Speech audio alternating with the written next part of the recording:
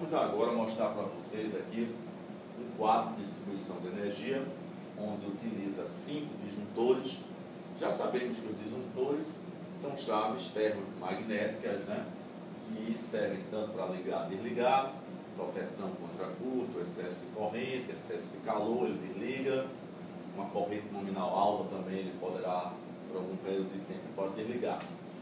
Vamos verificar aqui a corrente geral que está, é, que esses disjuntores estão é, selecionando e que nesse momento estão ligados dois ar-condicionados. Então vamos saber a corrente geral desses dois ar-condicionados aqui temos aqui dois fios, temos o vermelho, esse aqui mais grosso aqui, o vermelho e o azul.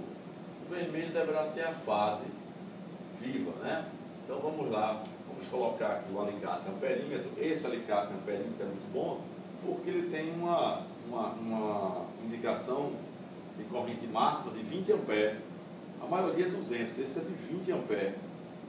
Ou seja, ele consegue medir uma corrente mais baixa, indicando aqui no seu visor.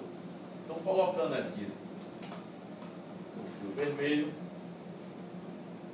vejam que ele está indicando em torno de 13,5 ampere, 13,7.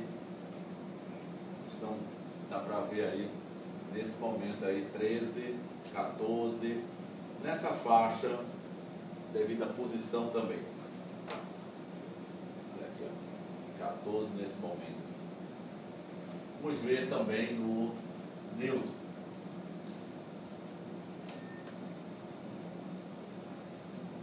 Mesma coisa, certo? 14, 13.7, 14. O que significa isso? Que a corrente que vem pela fase também retorna pelo neutro, é a entrada e a saída do circuito.